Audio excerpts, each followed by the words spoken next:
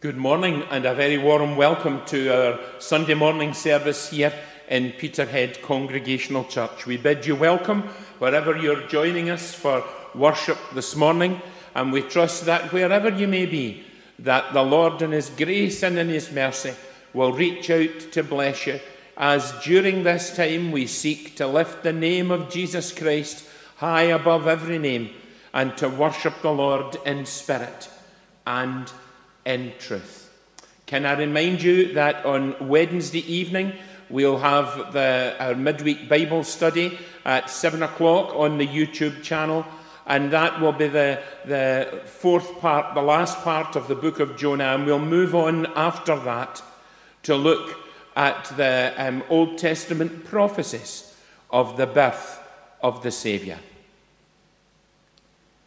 The psalmist writes, Find rest, O my soul, in God alone, for my hope comes from Him. He alone is my rock and my salvation. He is my fortress. I will not be shaken. My salvation and my honour depend on God, for He is my mighty rock and my refuge. Trust in Him at all times, O people. Pour out your hearts to Him. For God is our refuge and our strength. Let's worship God together and sing to his praise and glory our first hymn, Like a River Glorious is God's perfect peace, and the words will be on your screen.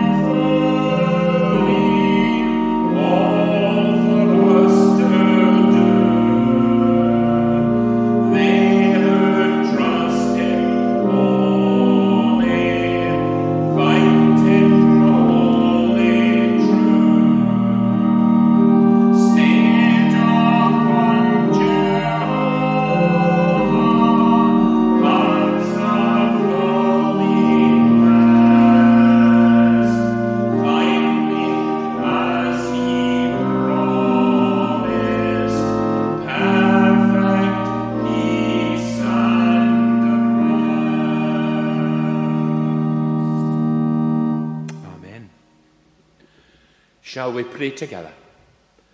God our Father, as we indeed come into your peace and your rest this day, we pray that you will bring calmness and stillness to the whole of our being.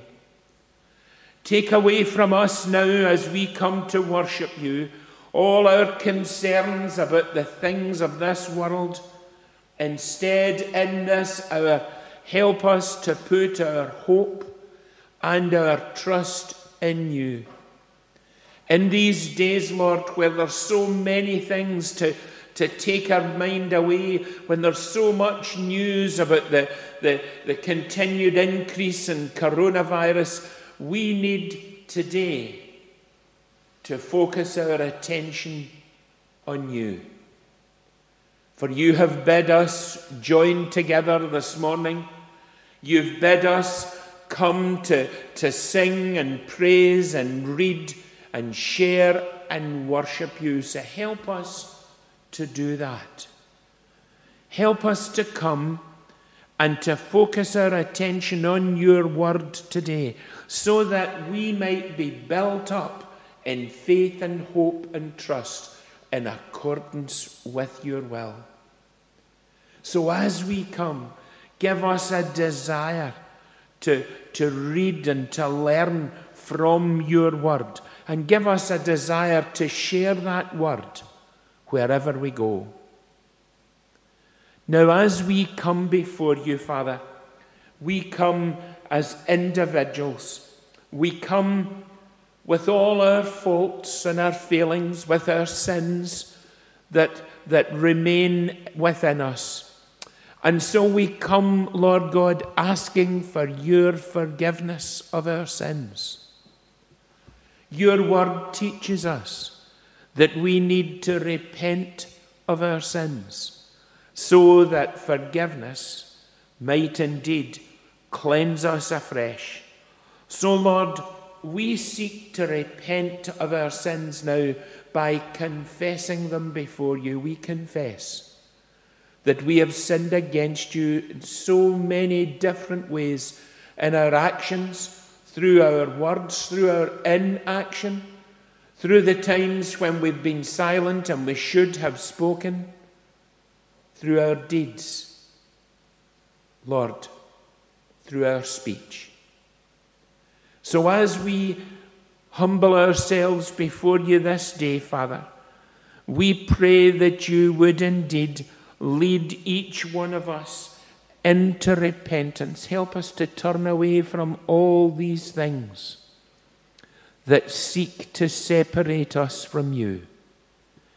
And help us to turn afresh, to see the, the face of Jesus Christ ever before us to see the path that you would have us tread winding before us, to know your presence and your love and your grace at work within us.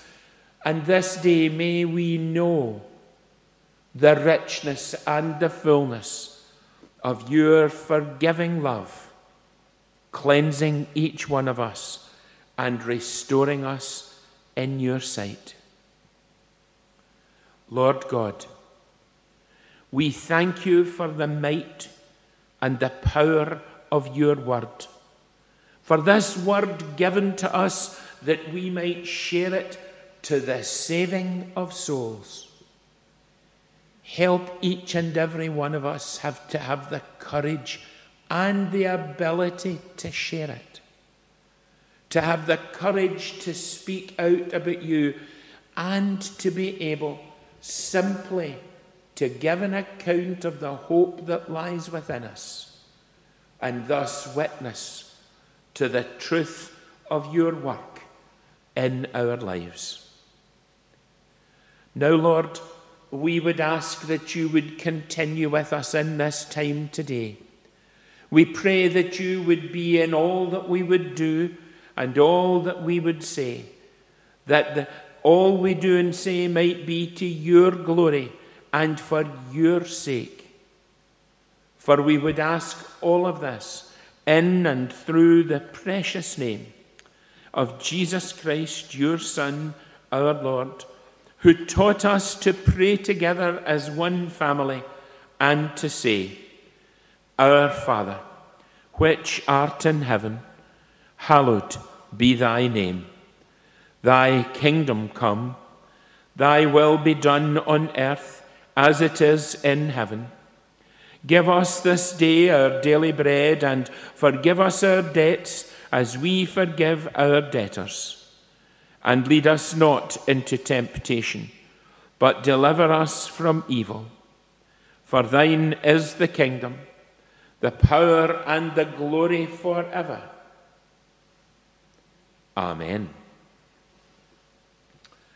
We would sing again in our second hymn the words on your screen, a well known hymn that I'm sure we could all sing even without words. What a friend we have in Jesus, all our sins and griefs to bear.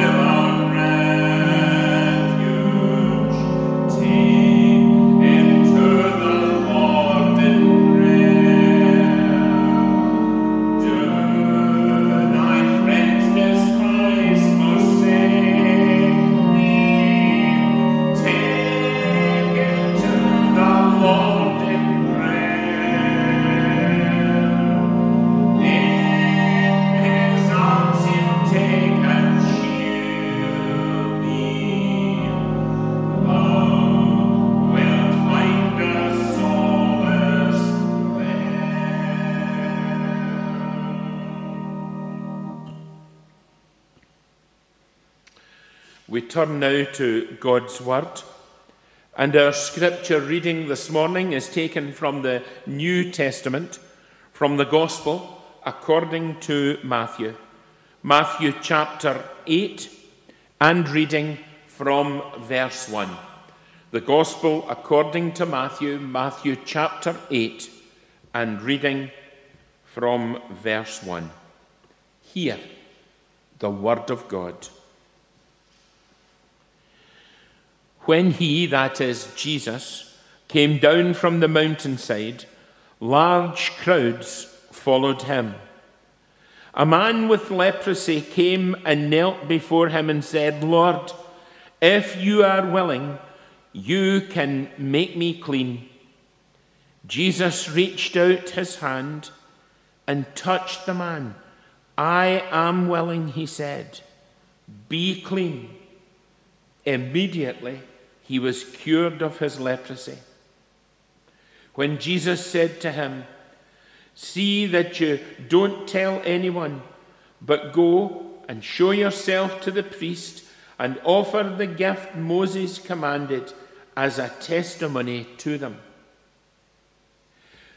When Jesus had entered Capernaum, a centurion came to him asking for help. Lord, he said, My servant lies at home paralyzed and in terrible suffering. Jesus said to him, I will go and heal him. The centurion replied, Lord, I do not deserve to have you come under my roof, but just say the word, and my servant will be healed. For I myself am a man under authority with soldiers under me. I tell this one, go, and he goes, and that one, come, and he comes. I say to my servant, do this, and he does it. When Jesus heard this, he was astonished and said to those following him, I tell you the truth, I have not found anyone in Israel with such great faith. I say to you that many will come from the east and the west and will take their places at the feast with Abraham, Isaac, and Jacob in the kingdom of heaven. But the subjects of the kingdom will be thrown outside into the darkness, where there will be weeping and gnashing of teeth. Then Jesus said to the centurion, Go, it will be done, and as you believed, it would. And his servant was healed at that very hour. When Jesus came into Peter's house, he saw Peter's mother in law lying in bed with a fever. He touched her hand and the fever left her, and she got up and began to wait on him. When evening came, many who were demon possessed were brought to him, and he drove out the spirits with a word and healed all the sick. This was to fulfill what was spoken through the prophet Isaiah. He took up our infirmities and carried our diseases. When Jesus saw the crowd around him, he gave orders to cross to the other side of the lake. Then a teacher of the law came to him and said, Teacher, I will follow you wherever you go. Jesus replied, Foxes have holes, the birds of the air have nests, but the Son of Man has no place to lay his head. Another disciple said, Lord, First, let me go and bury my father. But Jesus told him, Follow me and let the dead bury their own dead. Then he got into the boat, and his disciples followed him. Without warning, a, fu- a furious storm came up on the lake, so that the waves swept over the boat. But Jesus was sleeping. The disciples went and woke him, saying, Lord, save us. We're going to drown. He replied, You of little faith, why are you so afraid? Then he got up and rebuked the winds and the waves, and it was completely calm. The men were amazed and asked, What kind of man is this? Even the winds and the waves obey him. Amen. And may the Lord add his blessing to this reading of his word, and to his name be all glory and praise. As we come now to our prayers of intercession, um, we, we are mindful of those who are unwell. We're mindful of those that maybe we don't know, but who, who will need our prayers today. And, and we're, we're mindful of all these families who continue to be affected by the, the coronavirus as the number of, of deaths has increased significantly this week. We, we remember that, that this illness is still here, and, and I'm sure we've all read and heard of um, the, the illness in various places around our own time here. This is not a time to slacken off what we do. Instead, it's a time to be cautious and careful. And if we seek to, to be cautious and careful and seek to remain in Christ, then surely we trust that the Lord will see to our needs and indeed the needs of all in His will. Shall we pray together?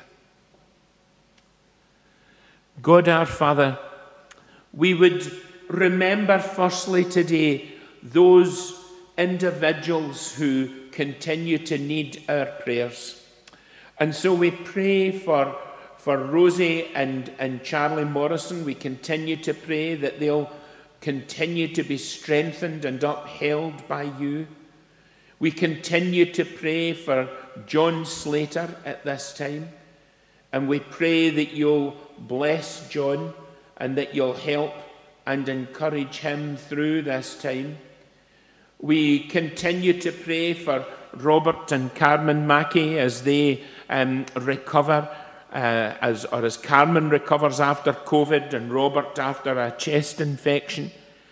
And we pray for all who are in need. And we remember a family, the family that we will have heard of um, that were in the accident on the Fraserburgh Road and, and how there were children involved in that. And the mum is, is in an induced coma, Father. And so we pray for her at this time. We pray for, for the, the father himself who, who seems to be doing okay, but still there's, there's much need in that family.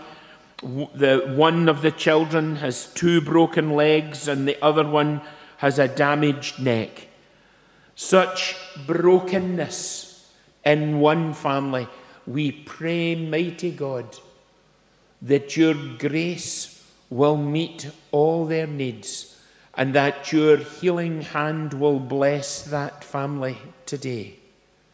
Bless each and every one of them. Lord, we are mindful of families all over our land who are in need at this time. And we would also remember those who, who have been struck down with coronavirus and the fact that it seems more prevalent at this time here in our own community once again reminds us of how vulnerable everyone is. So help us not to be afraid, but to be sensible. Help us indeed to seek to follow the, the rules laid down by our government and help us in every way to seek to obey those rules, for they have consequences on everyone else. We remember those who are waiting for operations, waiting for procedures at hospital that have been delayed for months, and we pray that these will not be delayed anymore.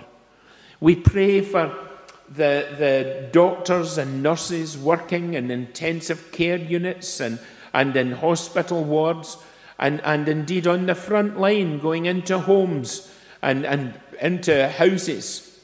We remember home carers and the task that they have. We remember those in nursing homes and their carers.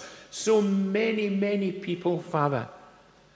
And we pray that you would keep them near to you and support them all at this time. Bring your peace to bear upon our hearts and upon our lives, that we may know your love and truth and grace. For those families who have lost loved ones in this last week, for those who are waiting for funerals in the week to come, we pray that you would remain near and close to them. Father, as we hear news this week of the possibility of a vaccine against this illness, we thank you for all the skills that you have placed into the hands of those whose, who's, who are scientists and who have been working on securing a virus. Lord, we pray that this will indeed be effective and will allow all of us to come back to some kind of normality in our lives in due course. And we long for the day, Lord, when we can throw open the doors and the gates to this church and that we can worship you fully in spirit and in truth, lifting our voices in praise as we sing of your glory. Lord, we pray for our families and our friends, and we pray that you would bless them at this time. We pray that you will keep them all safe and secure in you.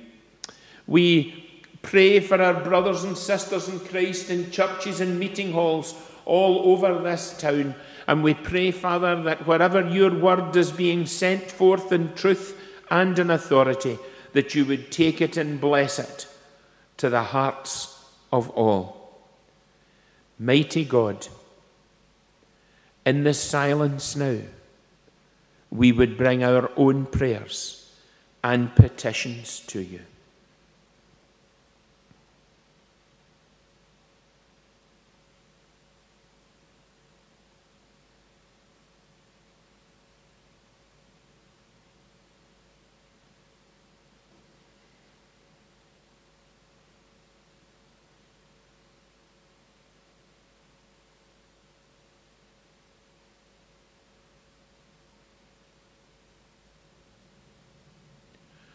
Lord, you know all our needs, all our hopes. You know all our sorrows and concerns. You know all our joys and aspirations. We bring them all before you. We thank you for those who work tirelessly to maintain the peace across the whole of this land. We pray for those in, our, in, in Her Majesty's forces. We pray for those in the police. We pray for those who are guarding our coastline, for those in the emergency services. Lord, we commend each and every one to you, and we commend ourselves to you, Father. We ask that you would take us just the way that we are and truly make us into what you would have us be. For we would ask all of this in and through the precious name of Jesus Christ, your Son, our Lord. Amen. Now, the hymn before the sermon is on your screen. Have you any room for Jesus, he who bore your load of sin?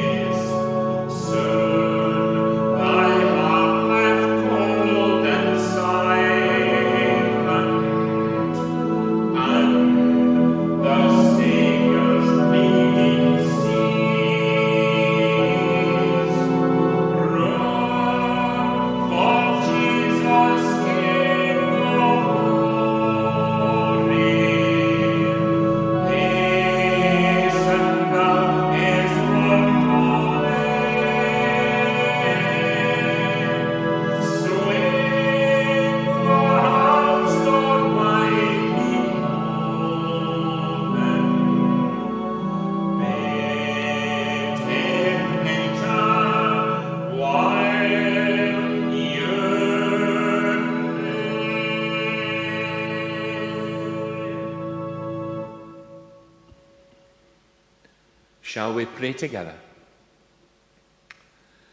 God our Father, as we turn our thoughts now to your word, help us this day to have room in our hearts for your word.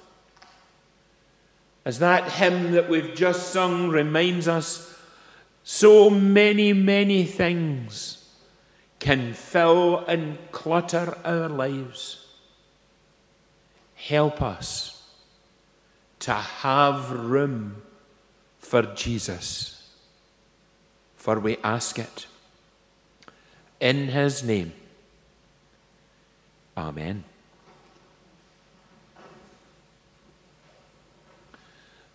Indeed, that marvelous old hymn that we've, we've just sung, Have You Any Room for Jesus, posts a, a question to each and every one of us. It asks us that question again and again at the start of, of every, every verse, really. Have we got room for Christ in our lives? And that all important question runs all the way through the passage that we, we read this morning from Matthew's Gospel. It's important that we have room for Jesus Christ in our lives. You know, if you take your car to the petrol station and you try to fill up the tank, and the tank's already full, but and, and it's full perhaps of the wrong stuff, let's say, how can we fill it up because it's already full? So we need to get rid of the rubbish that's in our lives. You know, if your, if your computer gets too many emails, it stops working. It needs you to clear out the rubbish. We need to clear out the rubbish out of our lives to make and ensure that there's room for Christ in our hearts.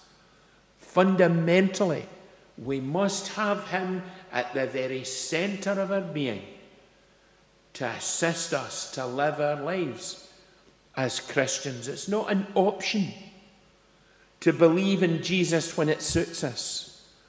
For the Christian, it is a requirement to hold fast to Him every day of our lives. And that hymn reflects that back to us, asking us have you any room for Jesus?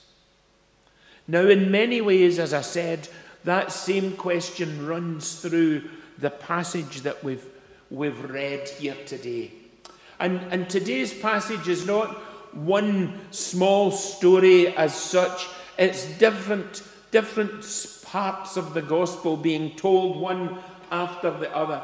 Matthew's gospel seeking to, to teach us about God's love and, and Christ's love towards us and his wisdom and his willingness to reach out to us. So we'll begin with that first section, which is about the man with leprosy. So, this, the, we're told that Jesus came down from the mountainside, and the large crowds followed him and a man with leprosy came and knelt before him and said, Lord, if you are willing, you can make me clean. Before we go any further, what do we see in that? Lord, if you are willing, you can make me clean. Here's a man who's had this dreaded disease. This leprosy, as we'll know from our own readings of of the scriptures, leprosy was such a curse. People were so terrified of it. It was a disease that could spread, it was a disease that, that could be caught by anyone in, in any situation, and it ate away at the flesh and eventually paralyzed and killed people. And so it was a, a, a terrible illness and a cruel illness. And to make things worse, because folk were so terrified of it, they were cast out of normal, a normal household. You could not keep, you would not be allowed to keep someone with leprosy at home. They would be taken outside the walls of the city or the village or the town, and they would be completely separate from folk. And as the Bible tells us, they would cry out where they came near, unclean, unclean, so that people would stay away from them. It was an existence and not a life.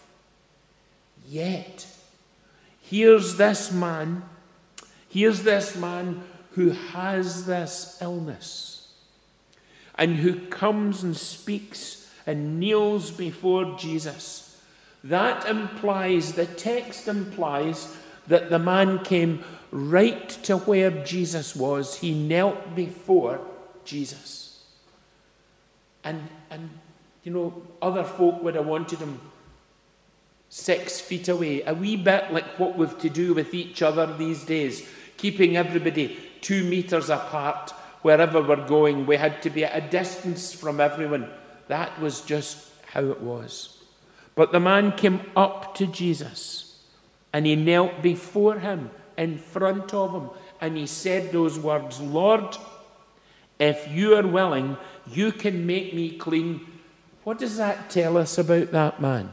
that in spite of all his difficulties, in spite of his ailments, his trouble, his illness, his faith in God was absolutely secure. And he saw Christ as the Messiah of God. He saw him as the Christ, the one who was sent according to the scriptures. Why do we know that? Because he came seeking healing from him. He called him Lord. You see, the text doesn't hide anything from us. We only need to open our eyes and read exactly what's there, and it's revealed to us. Lord, he says. He calls him Lord. If you are willing, notice I don't, I want.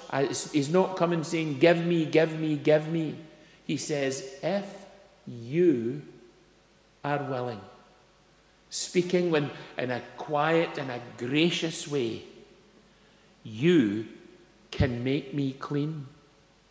The man says to Jesus, I know that you can make me clean. Absolute faith and trust this man has. I wonder what the crowd thought that were following Jesus when Jesus stood and spoke with this leper. I wonder what they thought. They would be holding back, they would be afraid to come any nearer. And then Jesus did something which, on the face of it, may seem just a little thing. Jesus reached out his hand and touched the man. I am willing, he said. Be clean. He reached out his hand and he touched the man who had leprosy. We don't know how long this man's had leprosy, but we know one thing no one, no one will have, since the moment that he was told that he had it, no one will ever have reached out their hand to touch him. No matter what kind of state or what kind of place he might have been in, no one would have reached out to touch him, but Jesus Christ reached out. You see, he was untouchable by the world, but he was not untouchable by Jesus Christ. There are folk, modern day lepers will say, there are folk walking the streets of, of, of our towns and cities and villages of this land and of lands all over this earth who are, are far away from God today because they think that God can do nothing for them, because perhaps their lives have been filled with other things, because perhaps they've, they've, they've um, been addicted to certain things or whatever that has taken them down a road and maybe even have been cast out from their family. But Jesus Christ is ever willing to reach his hand out. After all, friends, he reached out and touched your life and mine. Why would he not seek to reach out and touch anyone like this man who had faith, someone who was on the outskirts of, of society, cast out by society, comes with faith, and Jesus Christ meets his needs with those words I am willing. Be clean. Why would Christ be willing? What would make him willing? But that he could see into the heart, into the depths of the, the man who had leprosy. He could see into the depths of his being. And the man was made whole again. You see, it wasn't just the leprosy that was cured. On that day, he was given a brand new life because he would be able to go back home, to go back into the village, to go and start work, and to do all the things that he would want to do. Everything that he would want to do would be restored to him because of the touch of Jesus Christ. New life in Christ was given to this man, and to ensure that everything was done according to the law, Jesus tells him to go, tell no one, and to go to the priest, and to, to make the pro- be examined there, and then to make the proper um, sacrifices as required by the law of Moses, so that he could be brought back into society.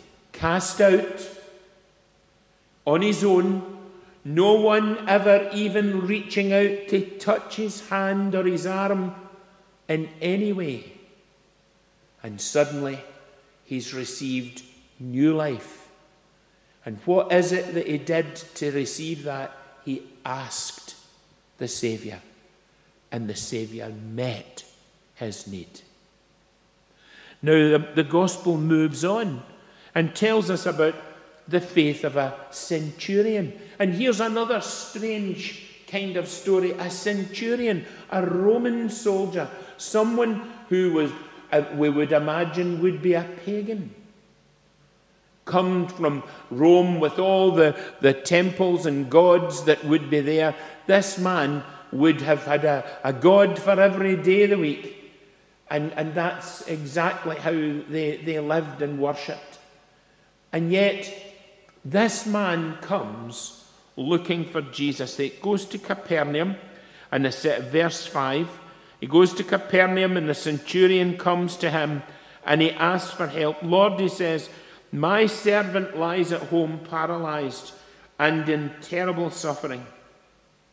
Jesus said to him, I will go and heal him. Now, let's just think about that wee bit for a moment. The man comes and says, the centurion comes and says, My servant is unwell. Now, here's this man who is a man of authority. Later, he would say to Jesus, I tell men to come, and they come, and go, and they go. He's in charge of, of, of, a, of a company of soldiers. And who is he concerned about here? About a servant. Not about um, someone in his family or, or whatever, about a servant. And you know, think of that. Servants were, were most times slaves, and, and as such, people would not give much thought about them. But this man did. And not only did this man think about his servant, that, that, that he was so ill that he came seeking Jesus Christ, but he also came to ask Jesus, think of the cost of that to him. Because he came in the face of all the folk that were in Capernaum, he would be known as a centurion there, and he came asking Jesus Christ, a Jew. He came asking this Jewish rabbi in the eyes of all who were there, Will you heal? Will you heal my servant? And Jesus responds and says, I will go and heal him. And then this really strange conversation takes place where the man says to Jesus, that he doesn't expect him to come to his house. He says, The centurion replied, Lord, I do not deserve to have you under my roof. I don't deserve to have you under my roof. Here's another man of faith. Not in a place that you might expect it, but a man who was outside of, of, of, of what we would understand as, as um, following Christ. And, uh, but he sees Jesus Christ as, as, as the Messiah also. Where did this knowledge come from? It can only come from one place. It can only come from God who puts that seed of faith into our hearts so that when we hear the word or when we see the truth, we know it to be true and real and active and alive.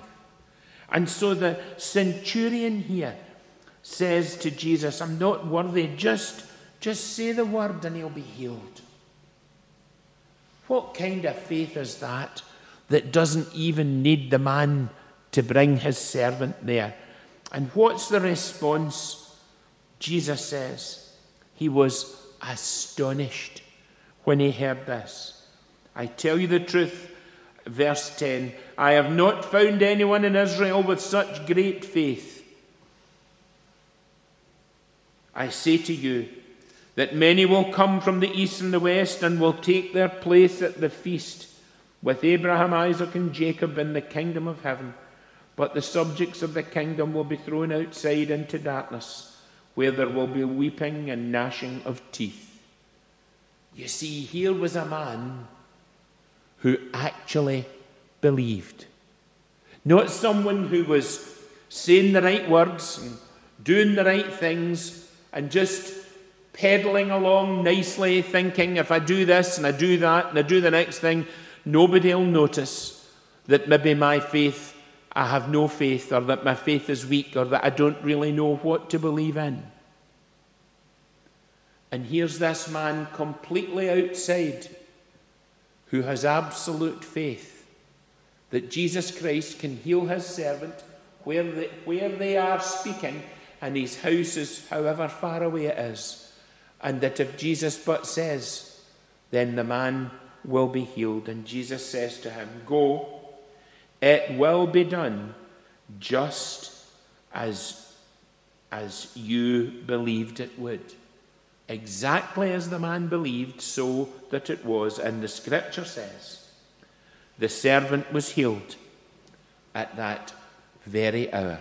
No need for Christ to touch, just for him to say. Another opportunity of someone to have faith in the Saviour, someone who had room for Jesus Christ. So much room that Christ filled his heart, just like the man with leprosy. So much room that he was cured. Two of them. And then the passage, verse 14, moves on just to a, a, small, a small part which tells us that Jesus comes to Peter's um, house and his mother in law is not well, and he, he, Jesus sees to her need and she gets up and serves them immediately. Another quiet touch of the Saviour so that he gets up, she gets up, and, and, and um, the fever that she had left her, he touched her hand and the fever left her.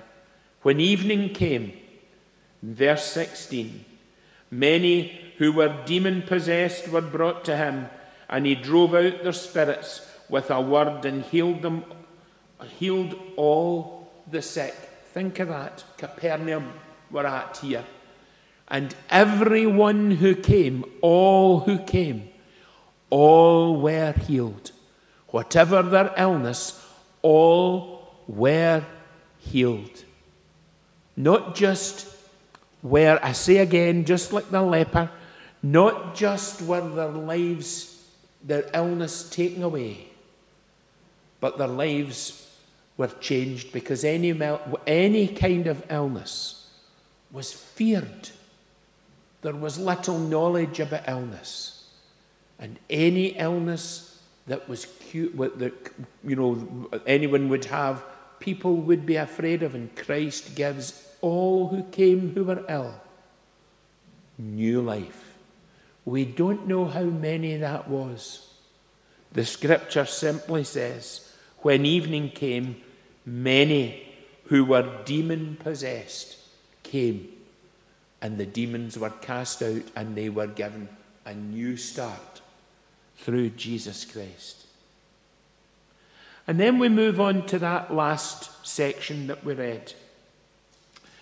The, or, the, the, or the second last section, the cost of following Jesus. There is a cost to following Jesus Christ. The gospel is sent forth absolutely freely. I was watching a, a, a, a video on, on YouTube before it came out, and um, I, I, like to listen to uh, it's a congregation in Northern Ireland who who sing lots of Sankey hymns and so on, and they've got loads and loads of them on the the um, the, the YouTube videos. And as uh, you know, the, the camera pulled back from the pulpit, and as on our wall, as I mentioned last week, above the rose window, it says, I know that my Redeemer liveth. And on the wall above the pulpit in that church, it says, Woe unto me if I do not preach the gospel. There's a fantastic text for the wall of any church. Woe unto me if I do not preach the gospel. You see, friends, we have to be willing to accept the gospel.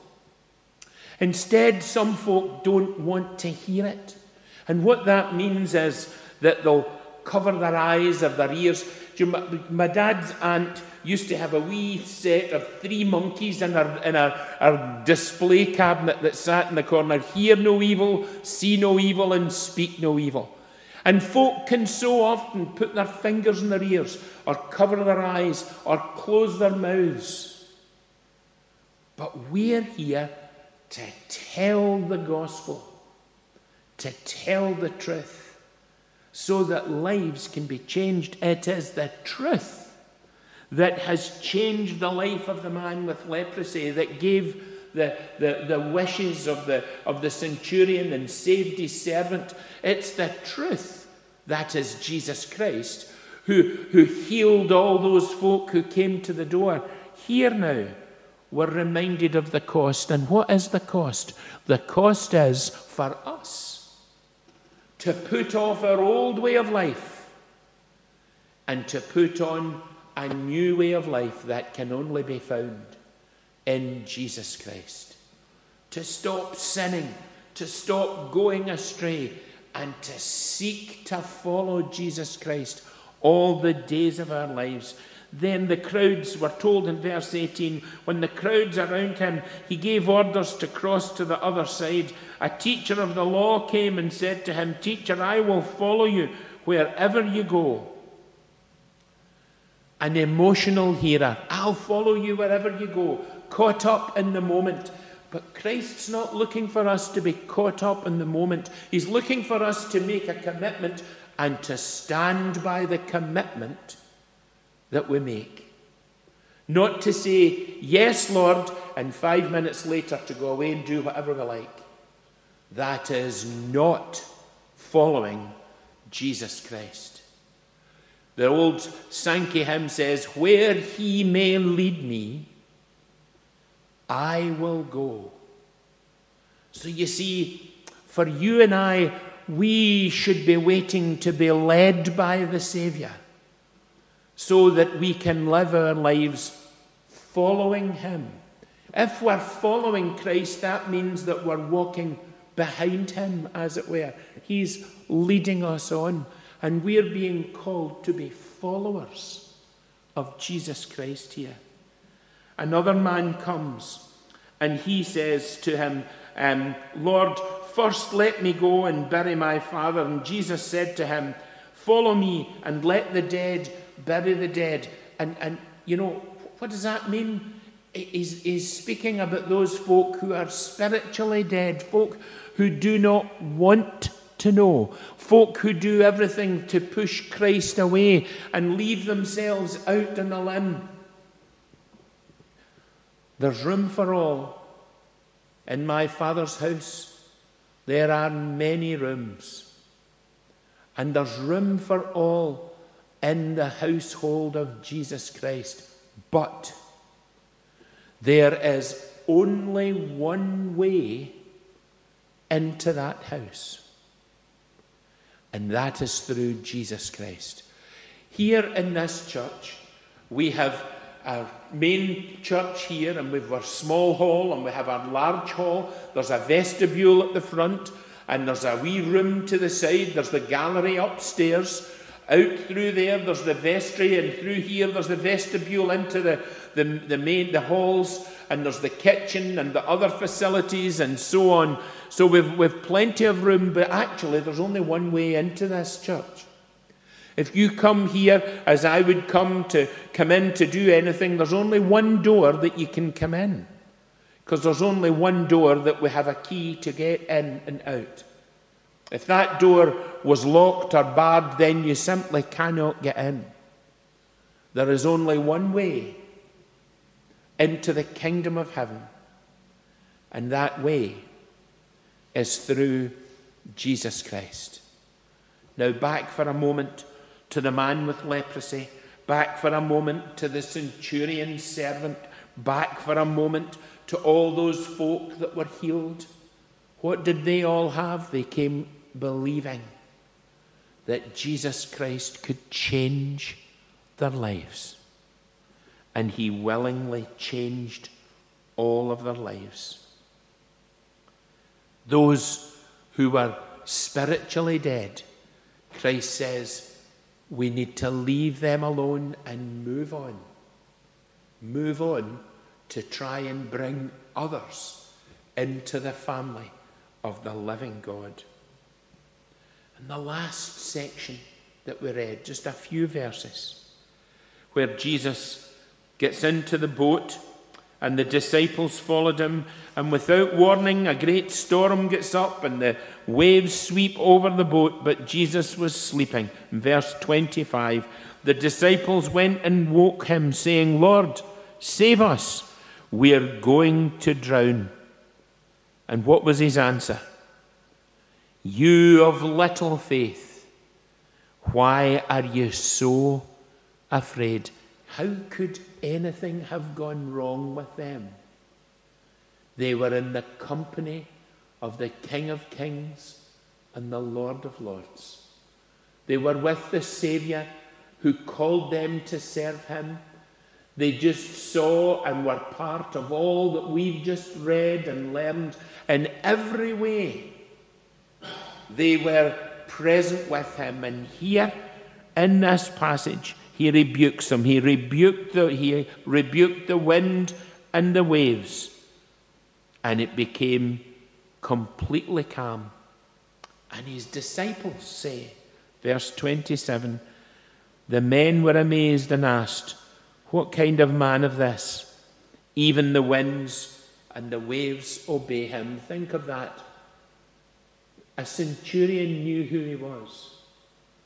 A man with leprosy knew who he was. Those who, who came seeking healing knew who he was.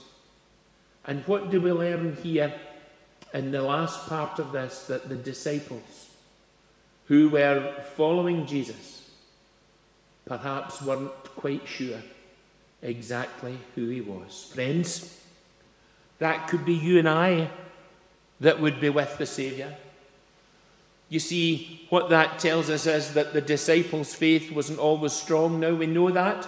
We know that even at the end of Christ's life, when he was being taken from the garden and taken to be beaten and tried, they, they all disappeared. They were afraid. They were afraid. What's wrong with them here? They're afraid. We're called not to be afraid. We are called to put our hope and our trust in the Lord Jesus Christ. who has the power to heal and to renew and to save. And if we walk with him, then we will remain safe and secure in him, even unto eternal life. For that is the message of the gospel. Through Jesus Christ and him alone, we have access by faith into the presence of eternity. Shall we pray together? God our Father, we pray indeed that you would lead us and guide us. Help us, Lord, to know that you are King of kings and Lord of lords. Help us to know your will and your purpose in all of our lives and lead us, walk before us, that we might follow you all the days of our lives. We ask it in Jesus' name. Amen.